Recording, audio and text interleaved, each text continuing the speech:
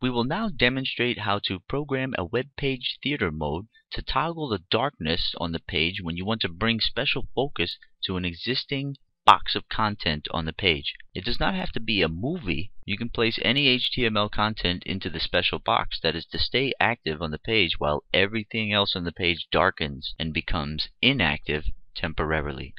So basically you're just turning the lights on and off, entering and exiting theater mode each time that's toggled. And then after the overlay goes away, you can then interact with all of the page content once again. Okay, now you see the finished product of what you're going to be learning how to create within this video tutorial, so let's rock and roll. So you'll be getting this video and one more video that's along the same lines, and the next video we're going to cover how YouTube pulled off their lights out for Earth Day application because theirs was not covering a page with a dark overlay they were actually changing the CSS on the page just to make the page appear darker. So we're going to cover that kind of functionality too so you guys can see a full scope of this whole overlay and page darkening type of functionality that you see on websites. But this one here, that's theater mode that you just saw the example for, we're going to use a dark overlay. And I just have to make sure that you guys understand there's a, a difference between what YouTube was doing for Earth Day in their lights out application between what we're doing here for our website theater mode application. And each would have its own special purposes within your applications because it's a different type of manipulation. Okay, here's the document that we're going to be playing with. You can see mine is called lightswitchexample.html. You can see we have all the basics for our document ready to go, the foundation, the backbone of it. We have a style tag ready here within the head tag. And we also have a JavaScript scripting tag ready within the head tag of the document. And then we have the body section here where we'll be putting our HTML content. Now what I'm going to do is go ahead and start with the CSS. So I'm going to open the index page that we worked on in the first video where we covered how to create a web page overlay. I tell you what, I'll somehow link all of the videos to one another. Maybe in the top left and right side of the video you can get from one video to the next that's all along these same lines because there's really four videos that we're doing. So I'll, I'll link them all up, so don't worry, I'll make it easy for you. Alright, so here is the code from that tutorial that we finished. Now you see where it says div overlay? I'm going to grab that. I'm going to put it into my new page here, or my new application, because basically I'm going to use the same exact code for that. And I'm going to go back into the index page and just grab that div that's the overlay. See where it says start end overlay? I'm going to grab all that. Control C and go back into the body section of this new page and paste that in. Now what I can do is remove everything within, that is within that overlay div and I'm just going to make that overlay div rest on one line there, the opening and closing tag for it. So there, you have your overlay all ready to go and you don't need anything else more for that. Now let's resume our CSS. And the next thing in the CSS we're going to be targeting an image tag that I'm going to put on the page in just a second and I'll walk you through that as well and that is going to have an ID of light switch and that's going to be the little light switch that you saw me toggling up and down on the page. Now it's going to have a position of relative and the positioning is kind of important because if you didn't position it correctly it wouldn't sit above the overlay which has a Z index of 2. The light switch has a Z index of 3 and if you recall from the last video, z-index is a way to give stacking order to your elements or a hierarchical stacking level so one can sit on top of the other. So we want to make sure that light switch is always on top of the overlay or else when the theater mode comes into play you won't be able to turn it off because the light switch will be under the overlay. So that's the only reason you see position relative and z-index of 3. It just has a higher z-index value than the overlay. Now you can see I'm giving it a background image here for the actual image tag. Now there's going to be an image within the image tag in the HTML, but I'm giving it a background image. That way my uh, light switch down mode is preloaded into the page. Now I set no repeat on it because I didn't want it to repeat within that image tag, which it wouldn't anyway, but I just wanted to make sure. So basically this line is in there to preload the light switch down graphics.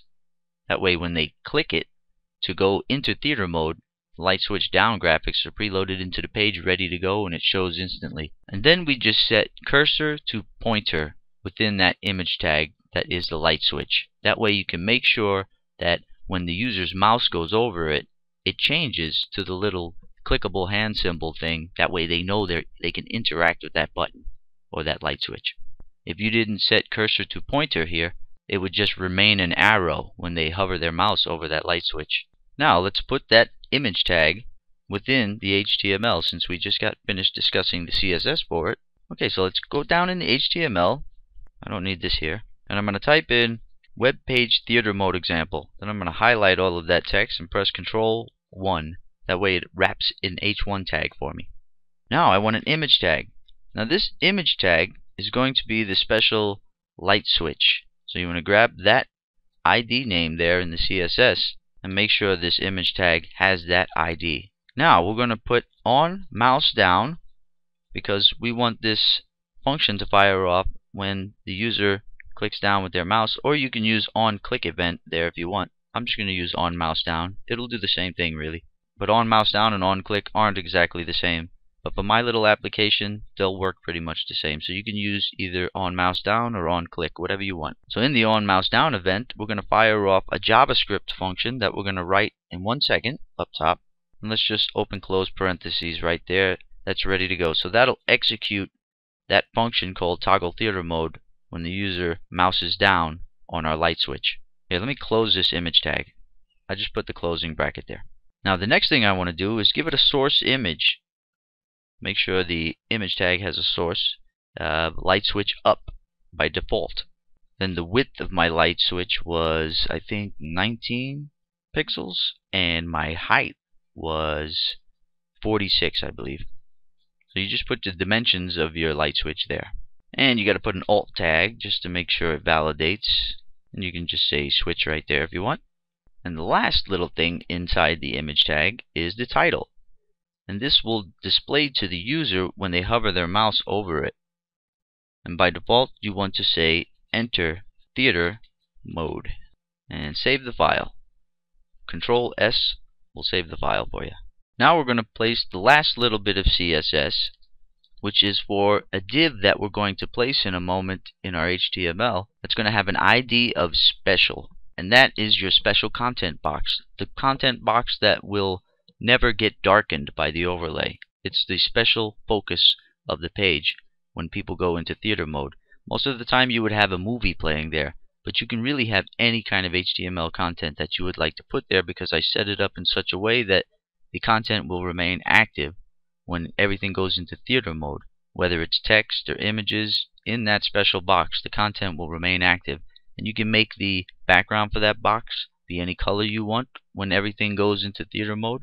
You can change the color of the text using JavaScript within that box. Using JavaScript, you can change the color of the text within that box. Basically, using JavaScript, you can change everything about that special box when the application goes into theater mode. When it goes out of theater mode, you can change it all back using JavaScript. Okay, so div ID special, that gets a position of relative, just like the light switch did, and a z index of 4. Actually, you can give that a z index of 3 too, and I think everything will work out just fine. Now all we have to do is stick special down in the HTML now.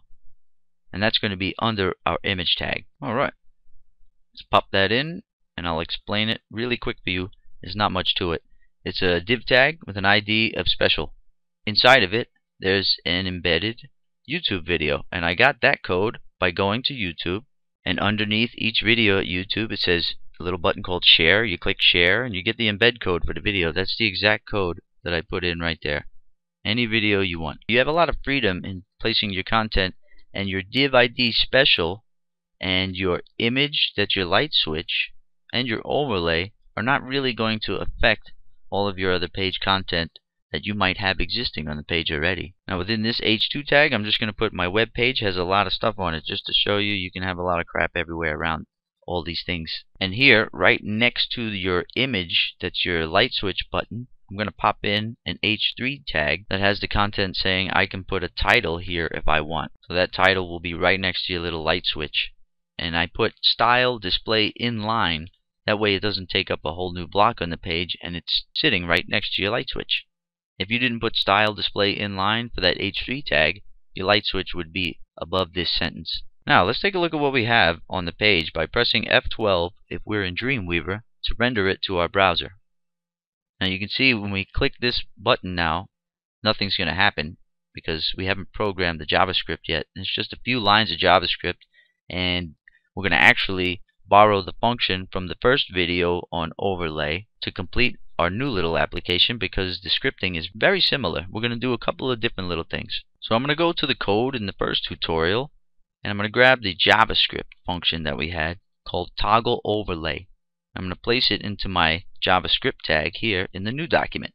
Now instead of being called function toggle overlay, this one is toggle theater mode. So let's make sure we change that to say function toggle theater mode.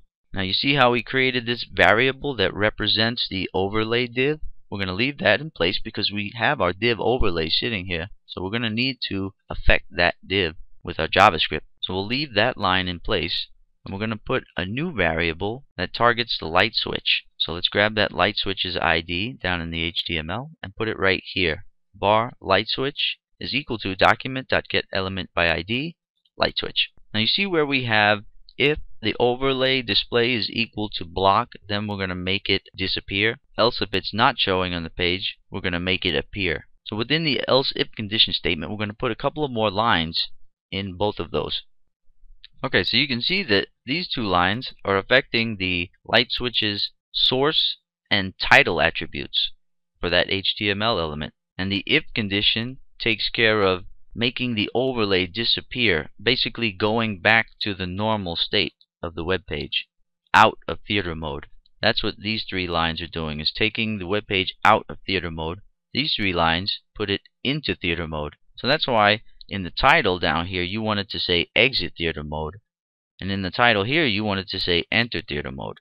And you wanted to have different graphics as the source for that light switch when it's in or out of theater mode. And that's all these two lines do is they toggle the graphics for that image and they also toggle what the title will say when the user's mouse hovers over it. And that's it. That's the whole application. So let's press F12 and run it in the browser and see if we have a working script it's beautiful. So when we have our mouse over it and it's in theater mode, it says exit theater mode.